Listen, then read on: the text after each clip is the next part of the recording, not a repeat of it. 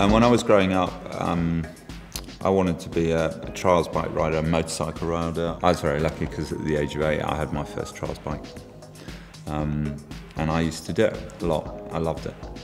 I wanted to deliver a cross section of people in London that influenced me, that are influencing London, that are part of what the capital is doing at the moment and part of my life and part of everything we do, um, Oliver Spencer. So getting all these people together for one shoot was, um, was quite a remarkable thing. So we're very proud of you all.